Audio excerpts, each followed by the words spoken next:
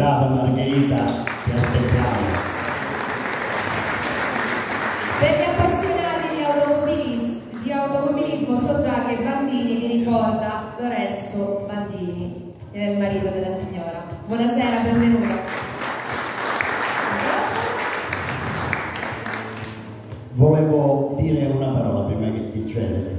Margherita Bandini. Forse qui eh, Lorenzo è morto nel 67 a Monte Carlo, ma 67 adesso sono 30, 53 anni, quindi diciamo è già molto difficile trovare delle persone che abbiano conosciuto eh, Lorenzo in attività. Eh? No? Dov'è il problema? Che eh, Margherita, moglie di questo grande campione della Ferrari, è vissuta in Calabria e io non lo sapevo, io non sono la persona eh, più importante della Calabria, però vi racconto un particolare del perché è nata questa grande amicizia con Margherita. Facendo quella manifestazione sportivamente, di cui prima dicevo con Gigino De Luca, ad una premiazione mi fa dice Albino, guarda, oggi viene a premiare Margherita Bandini. Chi? Margherita Bandini. E che ci fa? È di passaggio? No, no, è vissuta qua. Perché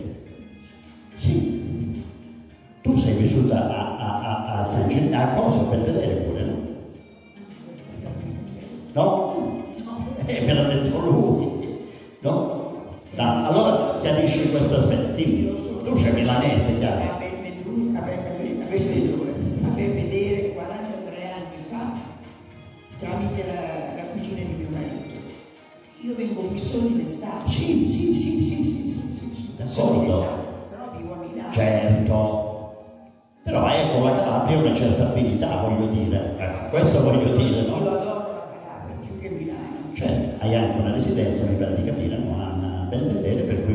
Ogni estate. E niente, quindi attraverso Gigio Luca, la manifestazione di Gigio Luca, conosco questa donna che ai tempi della morte di Lorenzo eh, Bandini, eh, eh, diciamo, conosciuto per una circostanza particolare, che voglio che voi sappiate, io sono stato appassionato sempre di corse e quando morì Lorenzo Bandini, che era la prima guida della Ferrari, restai colpito con un compagno di scuola di questa atroce morte e abbiamo celebrato una messa cantata presso la cattedrale di Catanzaro. E, e abbiamo celebrato e testimoniato questa bellissima donna, perché Margherita è stata sempre una bellissima donna, attraverso il settimanale Auto Italiana dell'epoca, questa messa cantata. Bene, a distanza di 40 anni la rincontro e lei si ricorda di questo particolare. Da qui la nostra amicizia. E sei diventata per noi Margherita. Prego. Quello che vuoi. Tutto no. Tutto. Puoi dire tutto. No, da che parte comincio? Ma da dove vuoi Margherita? Scusami, sai, ma Parto da Lorenzo. Puoi dire quello che vuoi. Questa è la platea giusta di tono automobilistico a cui puoi riferire il tuo amore con Lorenzo, cosa ha significato per tutta la vita.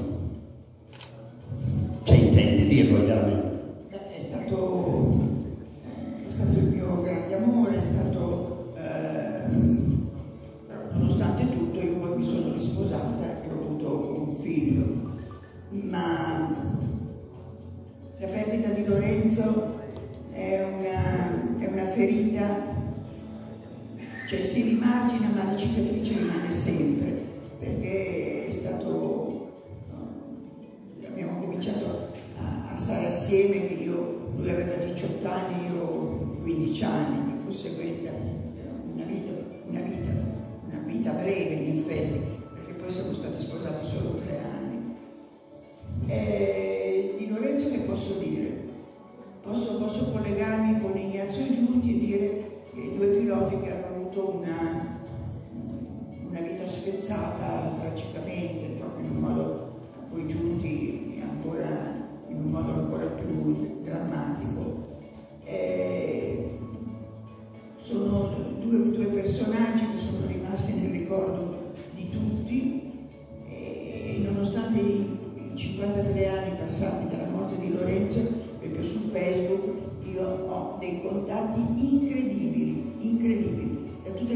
del mondo.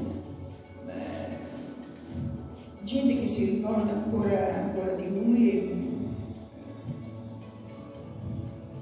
e, e ovviamente, ovviamente mi fa sempre molto piacere. Mi fa piacere perché non so, quel trofeo Lorenzo Bandini una cosa che mi, mi, fa impressione ancora, il trofeo Lorenzo Bandini che viene quest'anno viene assegnato a Leclerc, eh, a Brisighella, a Brisighella e io non ci vado tutti gli anni perché non mi piace. Poi praticamente poi devo ripetere sempre le stesse cose e allora a questo punto eh, preferisco non andare, insomma. Ma la gente che c'è, una cosa incredibile. Di conseguenza eh, la cosa mi, mi, emoziona sempre e mi fa molto piacere. Poi mi fa piacere vedere tutti voi, vi ringrazio e da una 83enne vi saluto. No, ragazzi, grazie Margherita, grazie. Rosa, forse tu volevi dire qualcosa, Margherita, aspetta. Ci dobbiamo dare un omaggio, aspetta, non corro. A ricordo di questo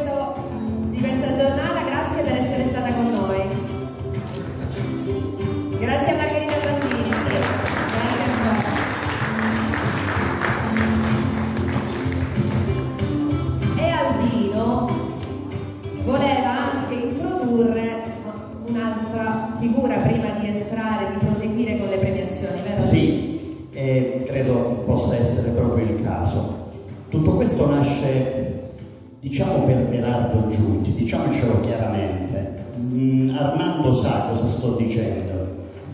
Io ho conosciuto mm, Berardo occasionalmente a Lamezia Terme, ne è nata un'amicizia e dopodiché facevo la televisione, facevo su di giri, abbiamo fatto una trasmissione interamente dedicata ad Ignazio proprio per questa mia amicizia con Berardo.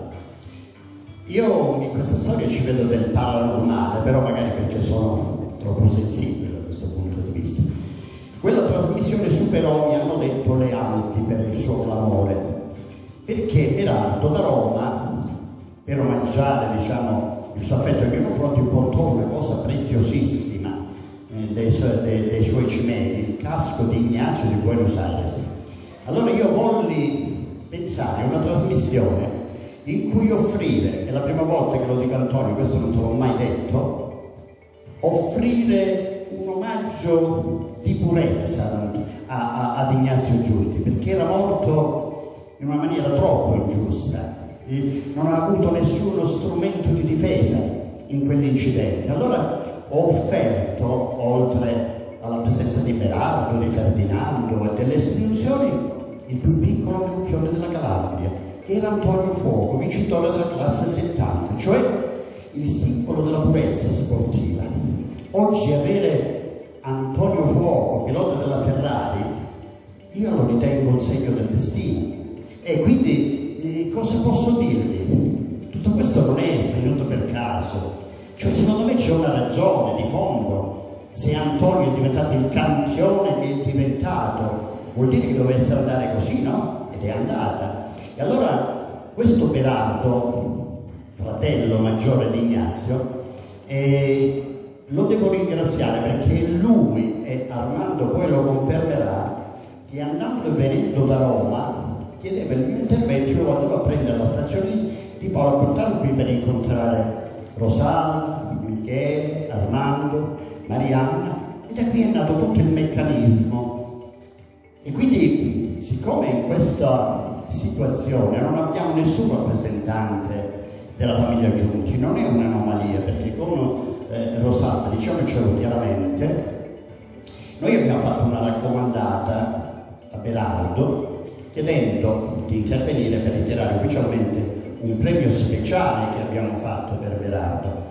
E ove non fosse venuto delegare qualcuno. Ed è stato delegato qualcuno perché Berardo non ha potuto mandare i figli e ha delegato Armando Bandiera come suo Quindi invitiamo Armando Bandiera a venire sul palco perché riceverai il trofeo che noi abbiamo premiato e abbiamo realizzato per la famiglia Giunti. Tu sei d'accordo? No? Prego Armando.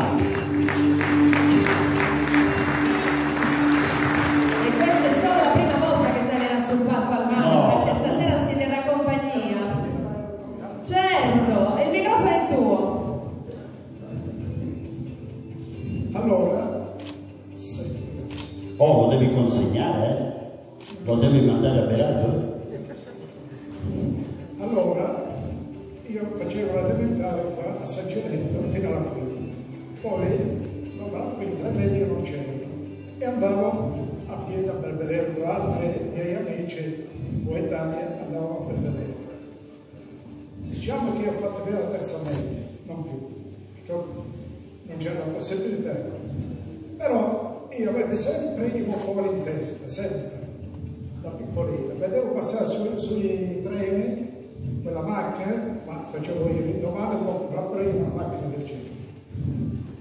Allora io andavo nell'officina, rimanevo il pomeriggio e mi ritiravo, eh, il pomeriggio mi ritiravo tardi, da, rimanevo nell'officina del Tornetto Francesco. È un ragazzo, però io ero a canetta di motore, un ragazzo che veniva a piedi da Belvedere di sera fino alle 7, alle 8 di sera, non era una cosa facile. Però nel futuro Ignazio, non lo so, forse per mia madre, perché cucinava da Dio e alla famiglia Giunti, è nata, diciamo, una fratellanza, no? Ancora oggi mi chiedo come ha fatto Ignazio, diciamo, a creare questa amicizia con me, perché io ero un povero Cristo, eh, no, no, mica ero... eh, boh. Allora, in questa officina, io qui ho pensato, ho detto, io con Ignazio devo fare qualcosa, quando viene l'estate. Allora mi sono inventato di fare un carrettino, con l'aiuto del nonno, del nonno di- del sindaco attuale perché lui era pure una persona intelligente, scaltra. Ho detto a Antonio, io avrei in mente di fare questo carrettino. Così quando viene Ignazio vediamo di, di- come fatto, con lo zio Antonio, questi mi hanno regalato dei cuscinetti a sfera e abbiamo fatto un carrettino. Quindi questo è arrivato Ignazio, è arrivato Ignazio, ha visto questo. Lui è, Ignazio poverino, è entusiasta di questo, dice, ma come cosa? E lui ci ha dato una mano eh, facendo perché questo Antonio stava nella villa vicino. Allora c'era la cacciola a scendere per le strade non era asfaltata, però c'era una cunetta alla francese. Noi partivamo, andavamo con Ignazio senza dire niente alla madre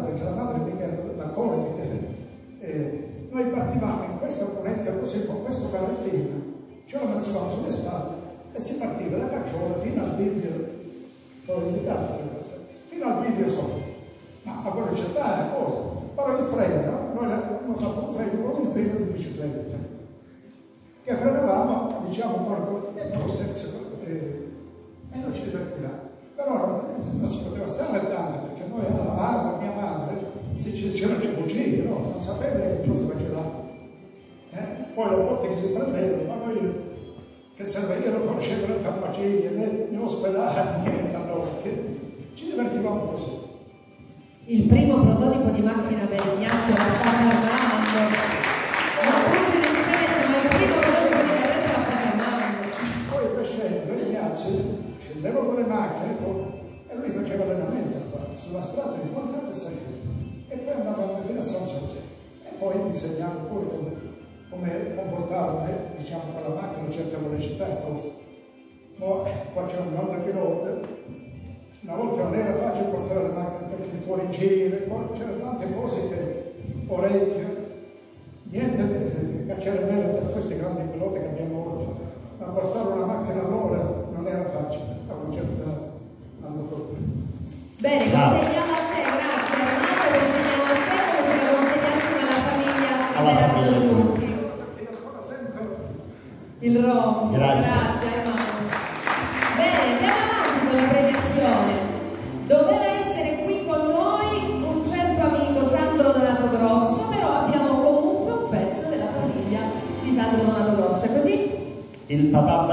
E la mamma. Eccoci, e invitiamo sul palco Sandro, caro amico, nostro grande stimatore, ci dovevano mandare un video, non ha avuto evidentemente i tempi, era nel Gran Premio della MotoGP, quindi non ha avuto i tempi. Buonasera benvenuti. Battista, buonasera. Signora, Bene, prego. possiamo far arrivare il nostro premio, lo consegniamo ai signori come se lo consegnassimo al figlio,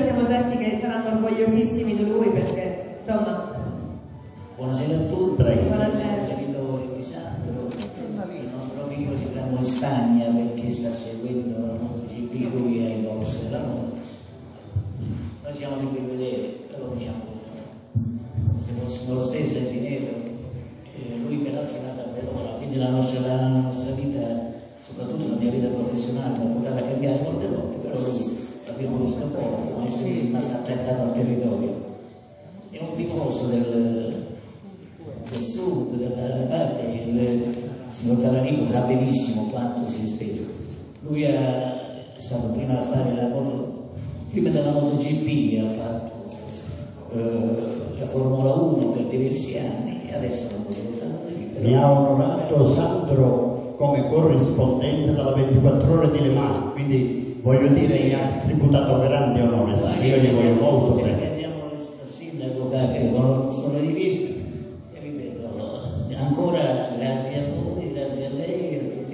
Auguri. Pistolfi. Grazie, Grazie. grazie.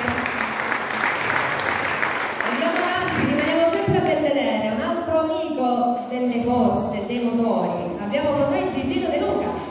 Lo vuoi presentare tu? Gigino De Luca, grande personaggio della costa tirrenica, quest'uomo non è tutto qui, lo sa, perché svolge un ruolo sociale molto importante. Complimenti Luigi, sei un mio caro amico. Ringrazio per avermi invitato, ringrazio tutti. Io ci siamo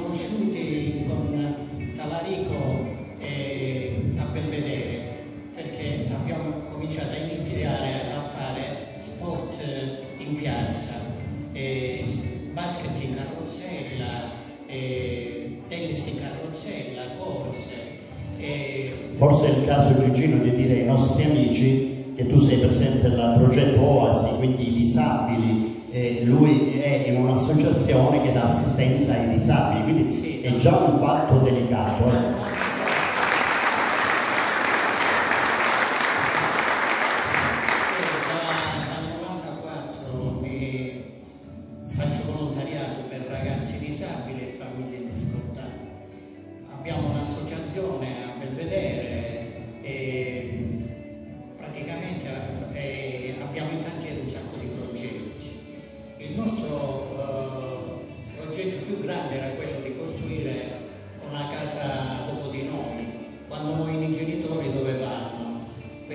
Grande pensiero di ogni genitore del disabile.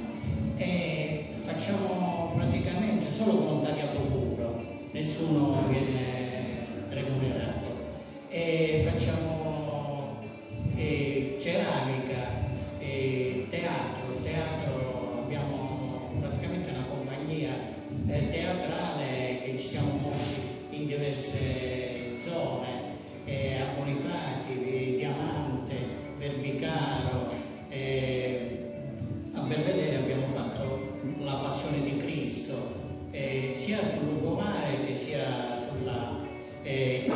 in paese, in cer- in- nel centro storico. E, e niente. Gigino, scusa, eh, io penso che sia importante che tu ripeta l'associazione come si chiama e dove si trova, perché io penso che sia importante, ehm, stasera è una festa, però quello che fa l'associazione di Gigino io penso che abbia un valore veramente eccezionale. Quindi pensare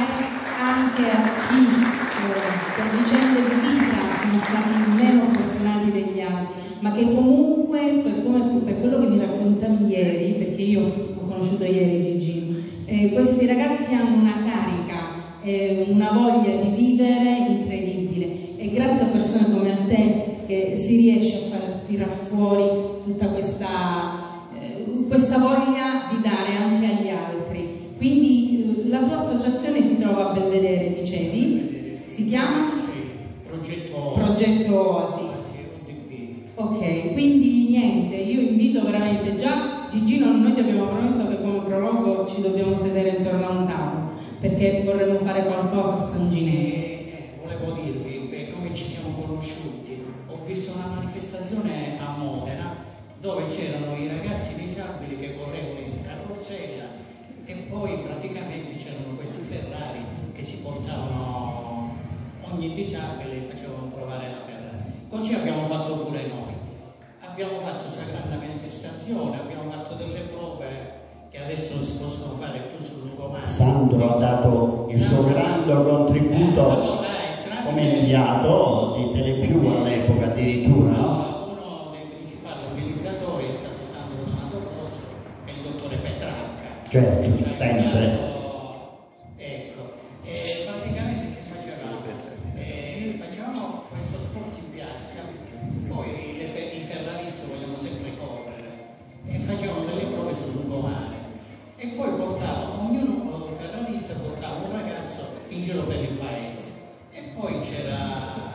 c'era, una, una, sede e facevamo comunità, facciamo comunione praticamente. Ok. Eh, con premio oggi a te per ringraziarti per tutto quello che fai. Premio Gingino De Luca.